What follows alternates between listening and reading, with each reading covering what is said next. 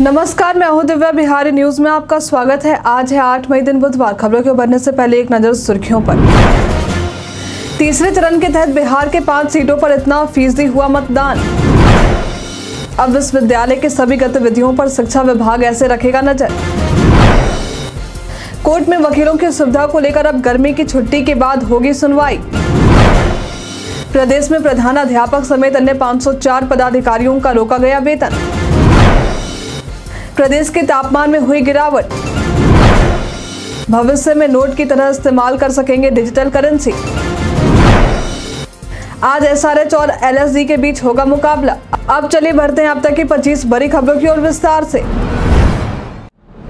उत्तर प्रदेश में टीचिंग और non teaching के पदों पर निकली भर्ती। टीचिंग और नॉन टीचिंग के पदों पर उत्तर प्रदेश के UP state institute of forensic science Lucknow में भर्ती निकाली गई है। ये भर्ती assistant professor professor associate professor scientific officer और असिस्टेंट लाइब्रेरियन के पदों पर निकाली गई हैं। इच्छुक उम्मीदवार इसके आधिकारिक वेबसाइट यूपी पर जाकर आवेदन कर सकते हैं। आवेदन पत्र ऑनलाइन भरे जाएँगे और उसकी हार्ड कॉपी ऑफलाइन तरीके से सहायक रजिस्ट्रार, उत्तर प्रदेश राज्य फॉरेंसिक विज्ञान संस्थान पीपर संड सरोजनी नगर, लखनऊ, उत्तर प्रदेश, भारत पिन कोड दो दो छः शून्य शून्य आठ पर भेजने होंगे। भर्ती से संबंधित सटीक और अधिक जानकारी के लिए आप इसके आधिकारिक वेबसाइट और अधिसूचना को देख सकते हैं। तीसरे चरण के तहत बिहार के पाँच सीटों पर हुआ इतना फ़ीसदी मतदान। बिहार में बीते दिन तीसरे चरण का मतदान पाँच लोकसभा सीटों पर समाप्त हो गया है। ये मतदान झंझारपुर, सुपौल, अररिया, मधेपुरा और खगड़िया लोकसभा क्षेत्र में देखने को मिला। मतदान प्रक्रिया सुबह सात बजे से शुरू हो गई थी और शाम के छह बजे तक चली। हालाँकि संवेदनशील जगहों पर मतदान शाम के चार बजे तक ही रहा। इन सभी पाँच सीटों पर उम्मीदवारों की किस्मत ईवीएम में कैद हो चुकी है। बिहार के इन पाँच सीटों पर मतदान छह बजे तक साठ फ़ीसदी के करीब में देखने को मिला है। अब विश्वविद्यालय के सभी गतिविधियों पर शिक्षा विभाग ऐसे रखेगा नज़र। अब समर्थ पोर्टल के ज़रिए शिक्षा विभाग राज्य के विश्वविद्यालय में शैक्षणिक, प्रशासनिक और अकेडमिक गतिविधियों पर नज़र रखने वाला है। इस पोर्टल पर विश्वविद्यालय से जुड़ी तमाम सूचनाएँ अपलोड की जाएँगी। साथ ही परीक्षाओं के आंकड़े भी पोर्टल के ज़रिए सुरक्षित रहेंगे। शिक्षा मंत्रालय से विभाग ने इसके लिए एम किया है। शिक्षा विभाग की तरफ़ से जो जानकारी सामने आई है, उसके मुताबिक अलग अलग आउटसोर्सिंग एजेंसी की सेवा लेकर राज्य के विश्वविद्यालय परीक्षाओं के आंकड़े तैयार करते हैं और इन आंकड़ों को सुरक्षित रखते हैं। इस पूरी प्रक्रिया में विश्वविद्यालयों को ज़्यादा पैसा खर्च करना पड़ता है। साथ ही एजेंसी पर पूरी विश्वसनीयता भी नहीं रहती है।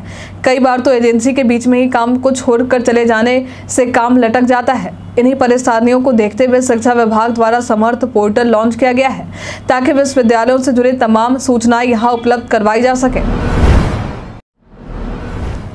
बिहारी बर्थडे स्पेशल में आज हम बात करेंगे रमेश चंद्र झा के बारे में। रमेश चंद्र झा एक भारतीय स्वाधीनता संग्राम में सक्रिय क्रांतिकारी थे। इनका जन्म आज के दिन, यानी 8 मई वर्ष 1928 में बिहार के मोतिहारी में हुआ था।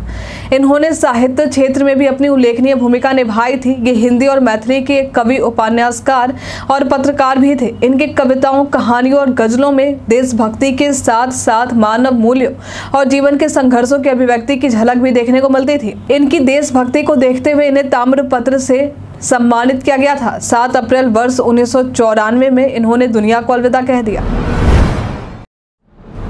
कोर्ट में वकीलों की सुविधा को लेकर अब गर्मी की छुट्टी के बाद होगी सुनवाई। राज्य की अदालतों में वकीलों के बैठने और कार्य करने की व्यवस्था और अन्य बुनियादी सुविधाओं के अभाव के मामले में पटना हाईकोर्ट गर्मी की छुट्टियों के बाद ही अब सुनवाई करेगा। बता दें कि इस मामले पर chief justice K V Chandran की खंडपीठ, वरीय अधिवक्ता रामाकांत शर्मा के जनहित पर याचिका पर सुनवाई करने वाले हैं। इससे पहले राज्य सरकार को अगली सुनवाई में प्रगति रिपोर्ट देने का निर्देश अदालत द्वारा दिया गया था। मामले को लेकर राज्य सरकार की तरफ़ से महाधिवक्ता पी के शाही ने अदालत को बताया है कि तेरह स्थानों के लिए, वकीलों के लिए भवन निर्माण और बुनियादी सुविधाओं के लिए टेंडर जारी कर दिया गया है। बाकी अन्य जिलों में भी कार्रवाई चल रही है। राजगीर की पहाड़ियों पर प्राकृतिक रूप से उगने वाले जड़ी बूटियों का होगा व्यवसायीकरण। राजगीर के उत्तर पूर्व दक्षिण और पश्चिम में फैली पैंसठ किलोमीटर लंबी पंच पहाड़ियों पर प्राकृतिक रूप से उगने वाले हज़ारों जड़ी बूटियों का व्यवसायीकरण किया जाएगा। दरअसल, वन विभाग आयुष मंत्रालय की मदद से औषधीय महत्ता वाले पौधों का संरक्षण करेगा। उसके बाद इन पहाड़ियों पर उगने वाली जड़ी बूटियों की प्रोसेसिंग और पैकेजिंग करके आयुर्वेदिक दवा के रूप में इसे बेचा जाएगा। इससे यहाँ के स्थानीय लोगों को भी रोज़गार मिलेगा। मिली जानकारी के मुताबिक इसके लिए स्थानीय लोगों को प्रशिक्षण दिया जाएगा। प्रदेश में प्रधान अध्यापक समेत अन्य 504 पदाधिकारियों का रोका गया वेतन। सरकारी स्कूल में मध्यान्ह भोजन को लेकर पूरी जानकारी प्रधान अध्यापकों को देनी होती है। लेकिन प्रदेश में मध्यान्ह भोजन को लेकर जानकारी नहीं देने पर 504 पदाधिकारियों पर कार्रवाई हुई है। ये कार्रवाई प्रदेश में 328 प्रधानाध्यापक 146 प्रखंड साधन सेवी और 30 जिला कार्यक्रम प्रबंधकों पर की गई है। कार्रवाई के तहत इन सभी पदाधिकारियों के वेतन रोक दिए गए हैं, क्योंकि इन्होंने मध्यान्ह भोजन की जानकारी उपलब्ध नहीं करवाई थी। बता दें कि इस बात का पता मध्यान्ह भोजन योजना निदेशालय की समीक्षा में सामने आई थी, जिसके बाद निदेशालय के प्रभारी उप निदेशक बालेश्वर प्रसाद यादव ने इन सभी के वेतन रोकने के आदेश दिए थे। पंजाब नेशनल बैंक के ग्राहकों हो जाए सावधान, नहीं तो बंद हो जाएगा अकाउंट। अगर आप में से कोई भी ऐसे हैं जिनका खाता पंजाब नेशनल बैंक में है तो ये खबर आपके लिए ज़रूरी है। दरअसल, जिन भी पीएनबी बैंक ग्राहकों के अकाउंट से तीन साल से कोई ट्रांजेक्शन नहीं हुआ है और उनके अकाउंट में कोई पैसे भी नहीं है तो उनको लेकर बैंक ने अलर्ट जारी किया है। बैंक द्वारा कहा गया है कि जिन्होंने भी पीएनबी अकाउंट में तीन साल से लेन देन नहीं किया है, उनके खाते को एक महीने के अंदर बंद कर दिया जाएगा। एक नोटिफिकेशन के ज़रिए पीएनबी ने बताया है कि ऐसे सभी खातों की कैलकुलेशन 30 अप्रैल 2024 के आधार पर की जाएगी। बिहार पर्यटन में आज हम बात करेंगे रामचंद्र शाही संग्रहालय के बारे में। ये संग्रहालय बिहार के मुजफ्फरपुर में स्थित है, जिसे कला, संस्कृति और युवा विभाग के अंतर्गत रखा गया है। यहाँ पर आपको वैशाली और मुगल काल के इतिहास से जुड़े कई शस्त्र और दस्तावेज़ देखने को मिल जाएँगे। इन सब के अलावा यहाँ पर कुछ धार्मिक मूर्तियाँ भी देखने को मिल जाएँगी। संग्रहालय में जाने के लिए आपसे किसी प्रकार के कोई शुल्क नहीं लिए जाएँगे। यहाँ पर हाथी के दांत से बने शतरंज के प्यादे भी मौजूद हैं, जो पर्यटकों के बीच आकर्षण का केंद्र बने रहते हैं। हैं यदि आप कहीं घूमने की योजना बना रहे हैं तो यहाँ आ सकते हैं। गर्मी को देखते हुए रेलवे ने स्पेशल ट्रेन के फेरे में किया विस्तार। भारतीय रेलवे ने पूर्व में चल रही स्पेशल ट्रेनों के फेरे को बढ़ाया है। बता दें कि ये फैसला गर्मी की भीड़ को देखते हुए लिया गया है। रेलवे ने ट्रेनों के इस शेड्यूल को भी जारी कर दिया है। इसके तहत गया और आनंद विहार के मध्य चलाई जा रही शून्य तीन छह तीन नौ व शून्य तीन छह चार शून्य तथा शून्य तीन छह पाँच तीन व शून्य तीन छह पाँच चार गया, आनंद विहार गया सुपरफास्ट स्पेशल के परिचालन अवधि में विस्तार किया गया है। ट्रेन नंबर शून्य तीन छह तीन नौ गया, आनंद विहार सुपरफास्ट स्पेशल अब दस एवं बारह मई को भी गया से छह बजे चलेगी और सासाराम डीडीयू प्रयागराज कानपुर के रास्ते अगले दिन नौ बजकर पंद्रह मिनट पर आनंद विहार पहुंचेगी। ट्रेन नंबर शून्य तीन छः चार शून्य आनंद विहार गया सुपरफास्ट स्पेशल। अब नौ, ग्यारह व तेरह मई को भी आनंद विहार से बारह बजे चलेगी और कानपुर, प्रयागराज डीडीयू सासाराम के रास्ते अगले दिन पाँच बजे गया पहुंचेगी। ट्रेन नंबर शून्य तीन छः पाँच तीन Gaya Anand Vihar super fast special. अब नौ, ग्यारह व तेरह मई 2024 को भी गया से छः बजे चलेगी और सासाराम डीडीयू प्रयागराज, कानपुर के रास्ते अगले दिन नौ बजकर पंद्रह मिनट पर आनंद विहार पहुंचेगी। एक साथ 240 शिक्षकों पर शिक्षा विभाग ने क्यों की कार्रवाई?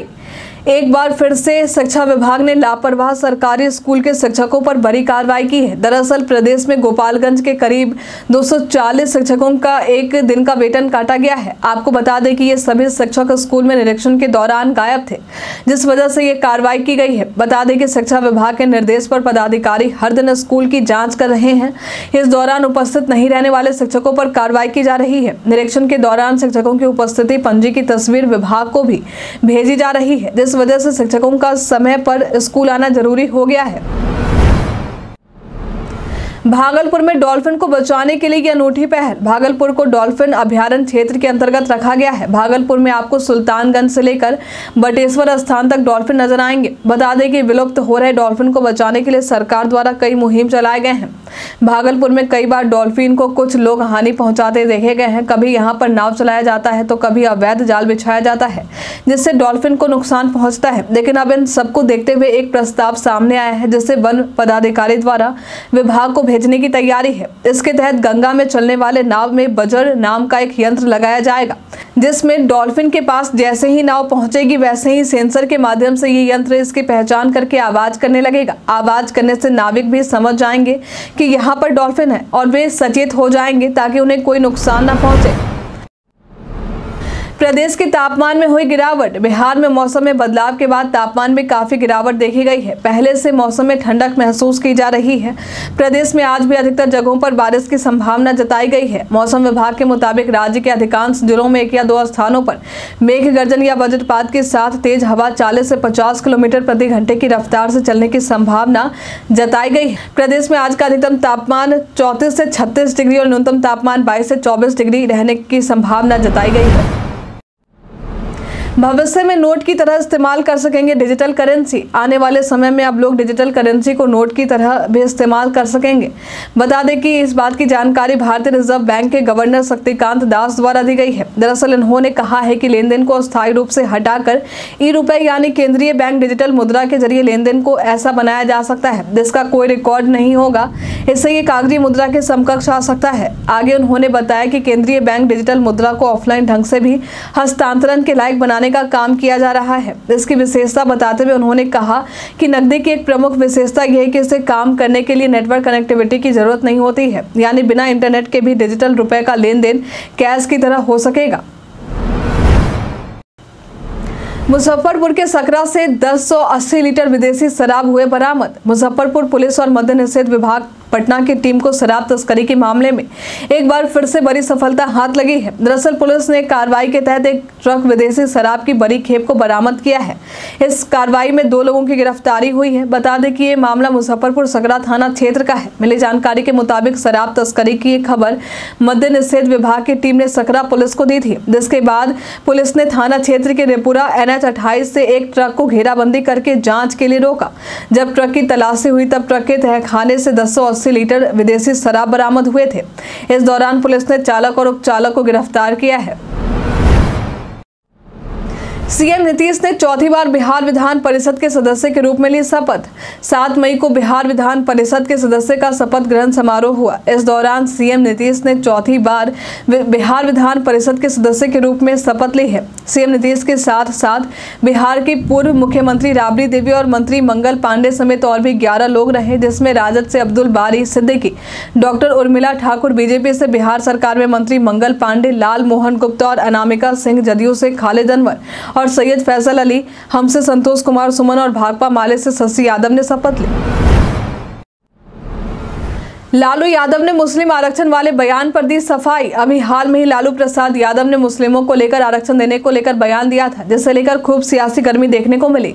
लेकिन अब लालू यादव का सफ़ाई देने वाला बयान सामने आया है। उन्होंने कहा है कि आरक्षण का आधार धर्म नहीं, बल्कि सामाजिक पिछड़ापन होता है। लालू यादव ने कहा है कि मंडल कमीशन हमने लागू करवाया है। क्या पीएम मोदी ने मंडल कमीशन और उसकी सिफारिशें पढ़ी हैं? आपको बता दें कि लालू यादव के इस बयान पर पीएम मोदी ने कहा था कि कांग्रेस चुप है, लेकिन आज इसके एक सहयोगी दल ने इंडी गठबंधन के इरादों की पुष्टि कर दी है। उनके नेता जो चारा घोटाले के मामले में जेल में है और कोर्ट से सजा पा चुके हैं, अभी जमानत से बाहर आए हैं। कांग्रेस ऐसे लोगों को माथे पर बैठा कर नाच रही है। ये लोग एस सी और ओबीसी समुदाय का आरक्षण छीन मुसलमानों को पूरा आरक्षण देना चाहते हैं। बिहार से संबंध रखने वाले प्रसिद्ध बॉलीवुड अभिनेता बीजेपी में हुए शामिल। अभी हाल में ही संजय लीला भंसाली की web series Heera Mandi release हुई है। इस सीरीज़ में बिहार से संबंध रखने वाले बॉलीवुड अभिनेता शेखर सुमन भी नज़र आए। इस सीरीज़ को लेकर उन्होंने कहा कि मैं हीरा मंडी के हिट होने का इंतज़ार कर रहा था, ताकि लोग ये ना कहें कि मैं खाली था। मेरी नवाबियत हीरा मंडी तक सीमित है। आपको बता दें कि इस सीरीज़ के बाद शिखर सुमन बीजेपी में शामिल हो गए हैं। उन्होंने नई दिल्ली स्थित पार्टी मुख्यालय में बीजेपी की प्राथमिक सदस्यता ग्रहण की है। इस दौरान बीजेपी के कई बड़े नेता भी मौजूद थे।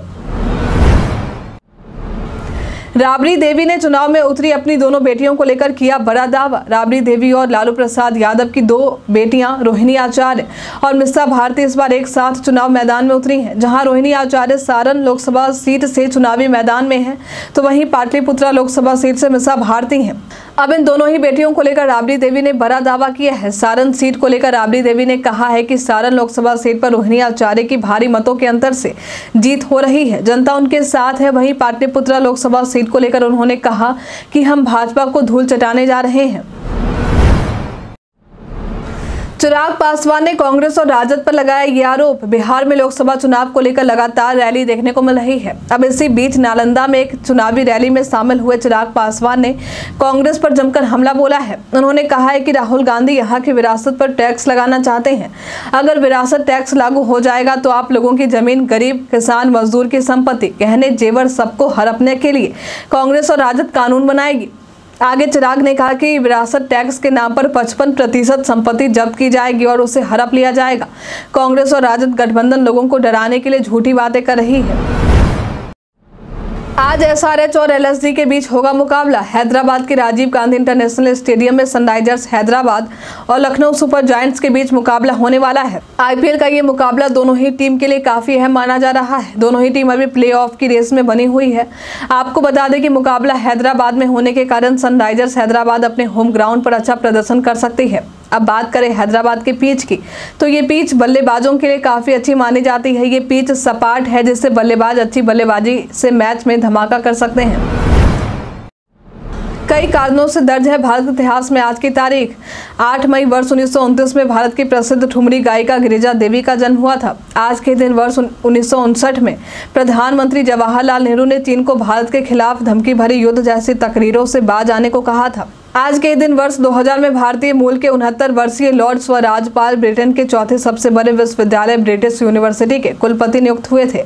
आज के दिन वर्ष 1932 में सत्यव्रत मुखर्जी का जन्म हुआ था। ये पद्म भूषण से सम्मानित एक राजनीतिज्ञ और लोकसेवी थे।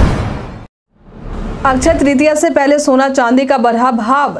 अक्षय तृतीया से पहले बाजारों में सोना और चांदी का भाव पहले से मज़बूत हो गया है। दरअसल सोना आठ सौ प्रति 10 ग्राम स्थानीय पटना सराफा बाज़ार में मज़बूत हुआ है। सोना बढ़त के साथ ही अब ये इकहत्तर हज़ार और बाईस कैरेट सत्तर हज़ार आठ सौ पचास रुपए प्रति दस ग्राम की दर पर पहुँच गया है। वहीं चांदी छह सौ प्रति किलो के हिसाब से बढ़कर बिरासी हज़ार सौ रुपए पर आ गया है। आपको बता दें कि कारोबारिक सप्ताह में दो दिन के अंदर सोना ने ग्यारह सौ प्रति दस ग्राम और चांदी ने पंद्रह सौ प्रति किलो की बढ़त हासिल कर ली है। इस महीने से बीएसएनएल की शुरू होगी 4G सेवा। मीडिया में चल रही खबरों के मुताबिक इस साल अगस्त के महीने से स्वदेश प्रौद्योगिकी पर आधारित 4G सेवाएँ पब्लिक सेक्टर की टेलीकॉम कंपनी बीएसएनएल देश भर में शुरू करेगी। दरअसल 4G नेटवर्क पर 40 से 45 मेगाबीट प्रति सेकेंड की अधिकतम गति दर्ज करने का भारत संचार निगम लिमिटेड द्वारा दावा किया गया है। पंजाब में बीएसएनएल की ये 4G सेवा शुरू हुई है और यहाँ अपने साथ करीब आठ लाख ग्राहकों को जोड़ चुकी है। इस संबंध में एक वरिष्ठ अधिकारी द्वारा कहा गया है कि सी डॉट का बनाया हुआ 4G कोर पंजाब में बीएसएनएल नेटवर्क में बहुत अच्छा प्रदर्शन कर रहा है। इसे पिछले साल जुलाई में स्थापित किया गया था।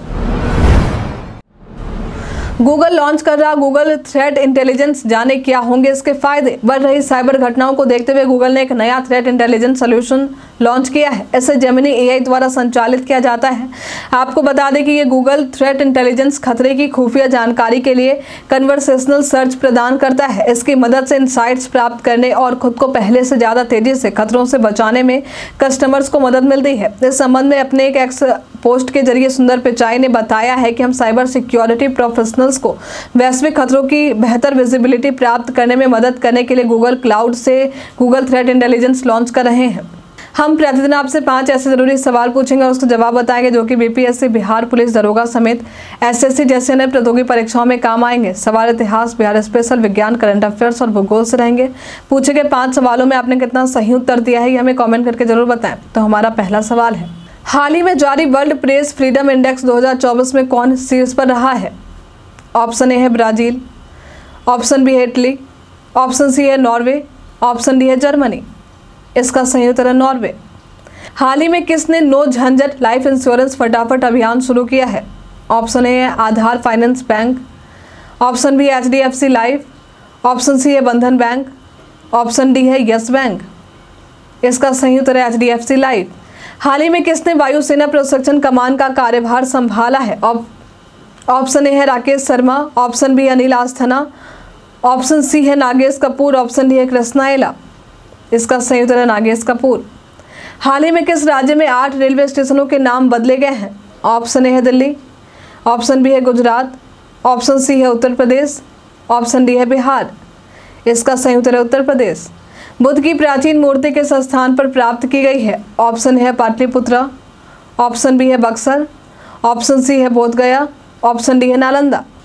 इसका सही उत्तर है बोध गया बीते दिन हमारे द्वारा पूछे गए सवाल का आप लोगों में से बहुत सारे लोगों ने अपना जवाब हमें हमारे कमेंट सेक्शन बॉक्स में लिख कर दिया था, जिन्होंने हमारा द्वारा, जिन्होंने हमारे द्वारा पूछे गए सवालों का जवाब दिया है, उनके नाम है। नुन्नू गोलू कुमार गोनर शर्मा, ऋषि सुबोध कुमार, कुलवंत सिंह, राजकुमार, नौसाद, राजा रविकांत यादव, अतीक खान, जितेंद्र कुमार सहनी, राकेश मिश्रा गोनर शर्मा, परशुराम सिंह, गंभीर कुमार, मनमोहन चौधरी, मोहम्मद साकिर हुसैन, मधु कुमारी। इसके साथ ही बढ़ते हैं आज के सवाल की और आज का सवाल है, आरक्षण पर आपकी क्या राय है? हमें कमेंट में लिखकर ज़रूर बताएँ। आज के लिए इतना ही। बिहार के तमाम खबरों के साथ बने रहने के लिए देखते रहे बिहारी न्यूज़। और साथ ही अगर आप यूट्यूब से देख रहे हैं तो चैनल को लाइक करना और सब्सक्राइब करना। अगर आप फेसबुक से देख रहे हैं तो पेज को फॉलो करना ना भूलें। धन्यवाद।